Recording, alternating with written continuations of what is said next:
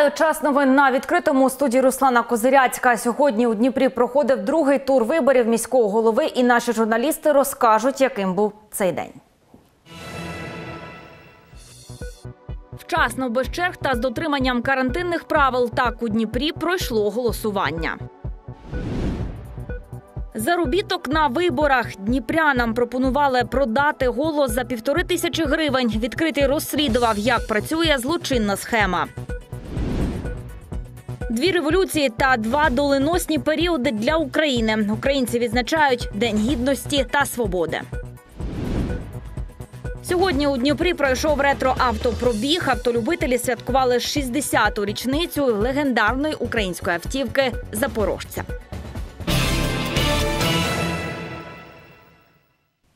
І про це та інше більш детально. Без черг та з дотриманням карантинних норм. Так у Дніпрі проходив день голосування. Хто прийшов на дільниці першим і як убезпечували виборців, далі у сюжеті.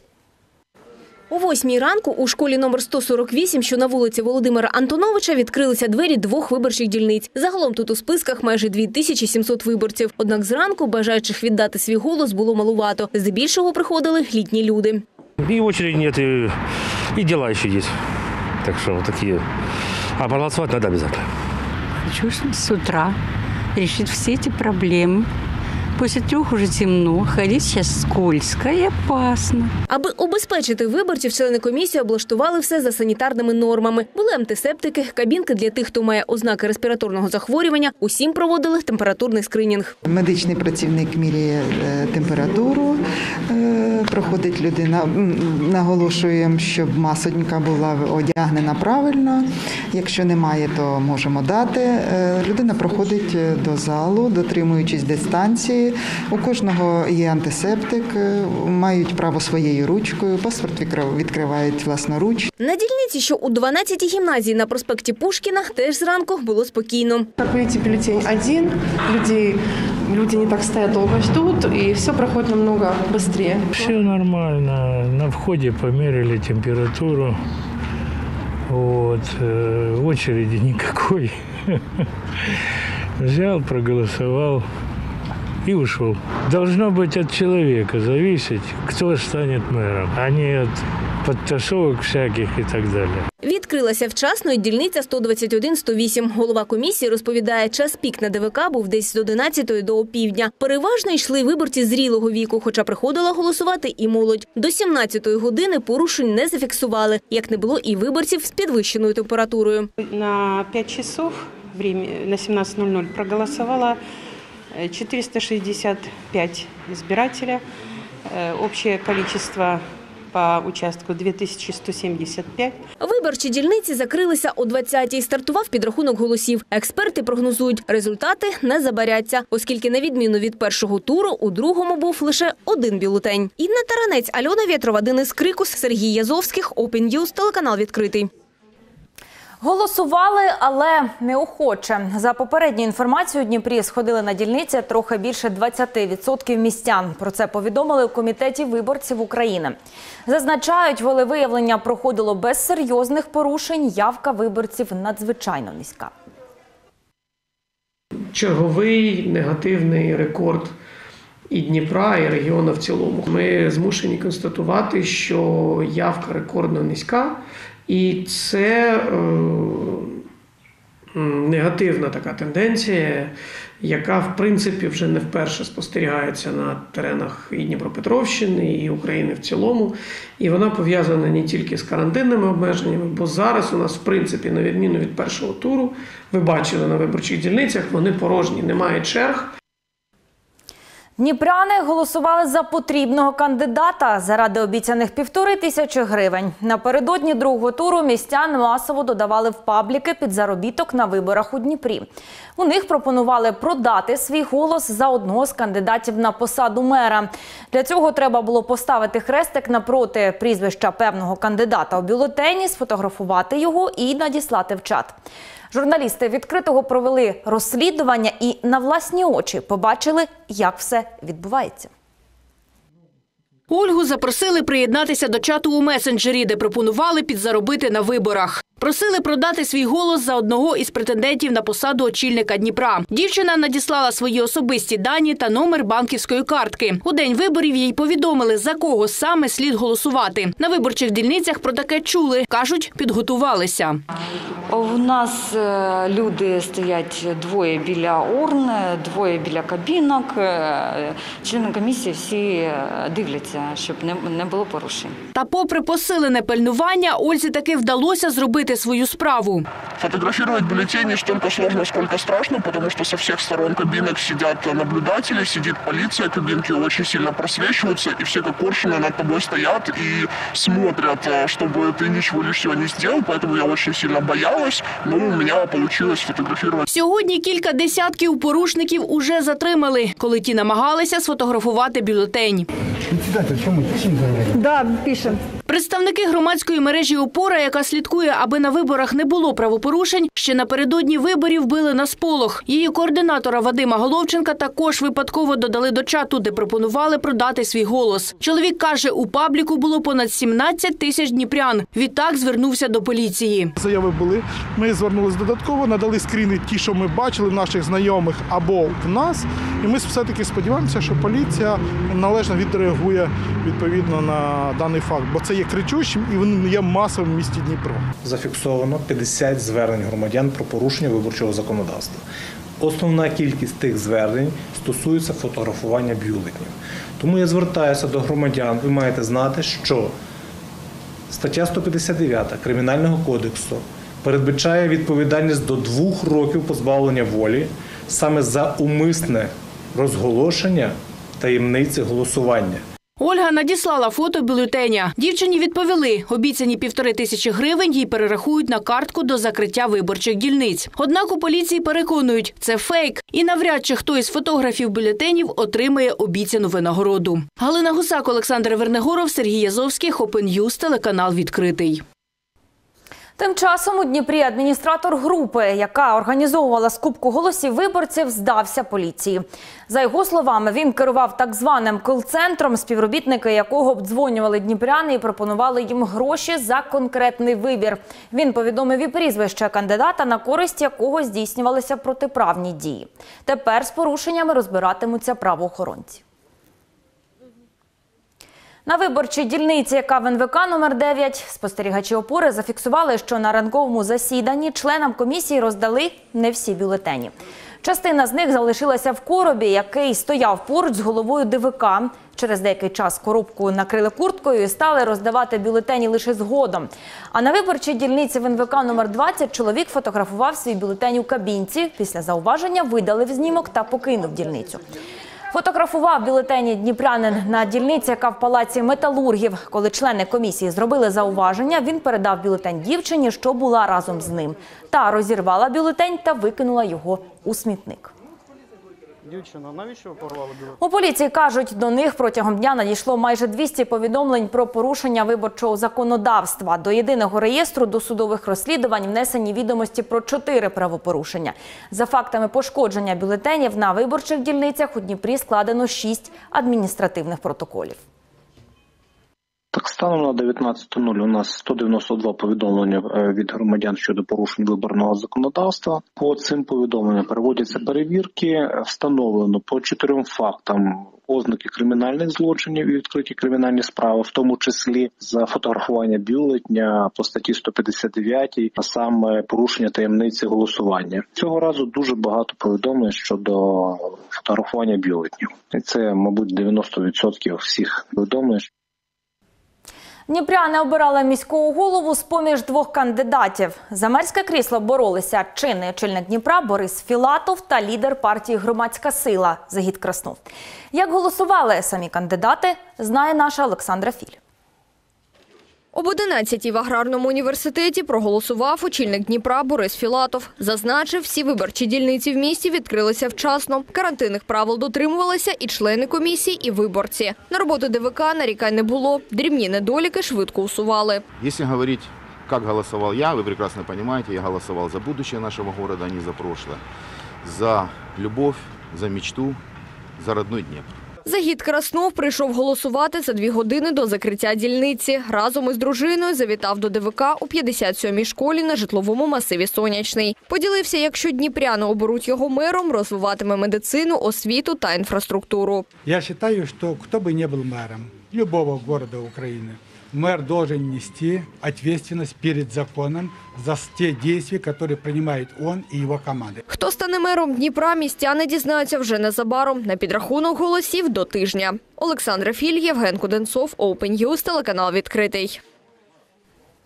Проголосував, їдь у транспорті задарма. Сьогодні автобуси Дніпра безкоштовно возили пасажирів, які взяли участь у другому турі виборів міського голови. Проїхати безплатно міг кожен пасажир, який пред'являв водію фото на фоні виборчої дільниці. До ініціативи долучилися майже всі автоперевізники міста. Представники підприємств кажуть, таким чином мотивували людей виконати свій конституційний обов'язок. Кількість безкоштовних поїздок була не обмеженою, але діяла до 20.30. На дільницю за 8 гривень додому безплатно. Так сьогодні зможуть їздити дніпряни, які прийдуть на виборчі дільниці. Серед голосуючих і пані Галина. Розповідає, це не перші вибори в її житті. Була на усіх. Прийшла проголосувати і на другий тур виборів міського голови Дніпра. Переконана, важливий кожен голос. Про ініціативу автоперевізників «Проголосуй, їдь в транспорті задарма» дізналася випадково. На выборы я хожу всегда, потому что это моя гражданская позиция. Сегодня я пришла на второй тур выборов. Как нам рассказали, можно сделать селфи и воспользоваться бесплатным проездом. Вот что я и сделала. Сейчас поеду, посмотрю, как работает эта инициатива. І Йдемо з пані Галиною з дільниці до кінцевої зупинки на Тополі. Жінка каже, зараз їй потрібно у справах до залізничного вокзалу. Тож чи діє ініціатива автопідприємств, дізнається вже за кілька хвилин. Здравствуйте. Я иду с выборов. Слышала, что по селфи можно проехать бесплатно в маршрутке. Да, это правда. Ну, хорошо, спасибо. Світлана – диспетчерка автопідприємства, що обслуговує 101 та ще 10 маршрутів у Дніпрі. Каже, вони також приєдналися до ініціативи «Проголосуй, їдь в транспорті задарма». Жінка розповідає, сьогодні на лінії десь зо дві сотні бусів. Всі пасажири, які матимуть світлину на фоні виборчої дільниці, їздитимуть безплатно. Все водители, которые вышли на линию, предупреждены о том, что сегодня работаем с фото с избирательного участка. Все, кто предъявляет фото, едет бесплатно на, на наших маршрутах. И на 12 квартал, и на Тополь, и в центр. До ініціативи «Безплатний проїзд для свідомих містян» долучилися майже всі автоперевізники міста. Кажуть, таким чином хочуть активізувати людей і спонукати їх виконати свій конституційний обов'язок. Водителю показать селфи. На любой остановке, это не обязательно конечная, на любой остановке он показывает селфи, его лицо и видно избирательный участок, и он едет абсолютно бесплатно. Альона Вітрова, Василь Самовар, Ярослав Засоба, Open News, телеканал відкритий. Ярмарок вихідного дня. Сьогодні підприємці Дніпра ярмаркували на 30 локаціях у різних куточках міста. Продавали харчі та традиційний зимовий напій Глінтвейн. Тих, хто проголосував на виборах та зробив селфі на фоні дільниці, безкоштовно пригощали кавою та чаєм. Акція за ініціативи місцевих підприємців та асоціації рестораторів Дніпра. Під час ярмарку в парку Прибережному мешканці могли посмакувати найдовшою шаурмою в Дніпрі. На неї пішло понад 30 метрів лаваша та 10 кілограмів м'яса. Шаурма вкусная, на самом деле. Единственная прохладная сегодня погода, поэтому она уже остыла, а по вкусовым качествам она отличная. То есть нам все понравилось. Тих, хто гуляв європейською площею, безкоштовно пригощали гарбузово-яблучним пирогом. Організатори кажуть, десерт розібрали швидко, бо був дуже смачний. Действительно, обстановка тут очень интересна, музыка классная, пирог обалденный, да еще и бесплатно, с тыквой, с яблоками. Ну, вообще, молодцы, супер. Днепропетровцы в такое тяжелое время так круто организовали.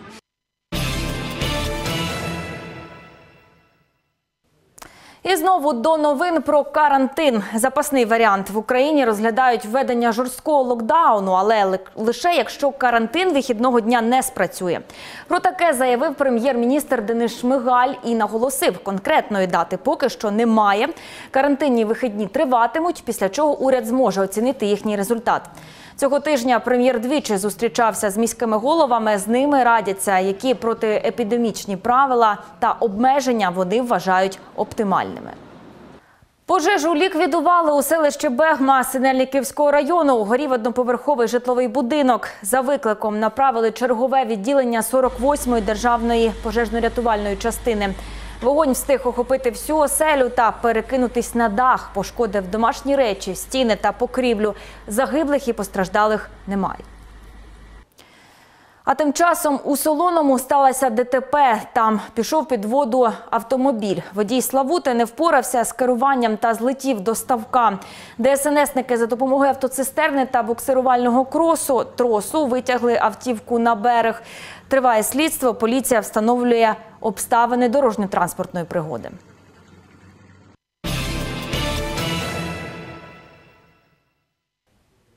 І до інших тем: дві революції та два доленосні періоди для України.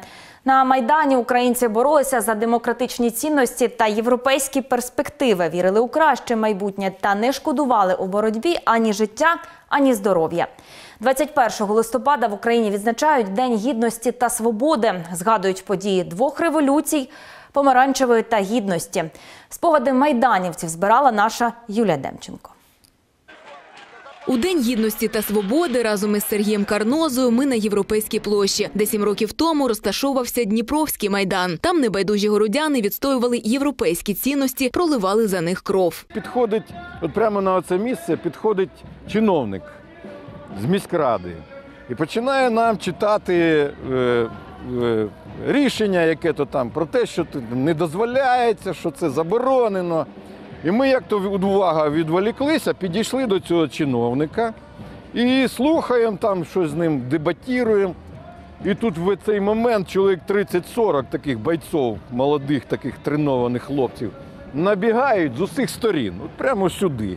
І починають палками бити оці намети, ламати, перекидати столи. Тоді Сергію зламали ногу. Він тривалий час лікувався, а народного обурення було не зупинити. Майдани збиралися у багатьох містах країни. Найбільш масштабним народний супротив був у столиці. Людей спочатку обурило не підписання угоди про асоціацію з європейським союзом. Переломним стало 30 листопада, коли вночі на майдані незалежності силовики побили молодь. Тоді акція з проєвропейської перетворилася на антиурядову. Це була цинічна провокація. Я думаю, що це зроблено було навмисно для того, щоб запалити людей. Журналістка та волонтерка Марина Давидова була учасницею обох майданів Київського та Дніпровського. Події тих днів на її світлинах. Через мене передавалися гроші на Київський майдан. Я приїздила, так я фотографувала, я знімала.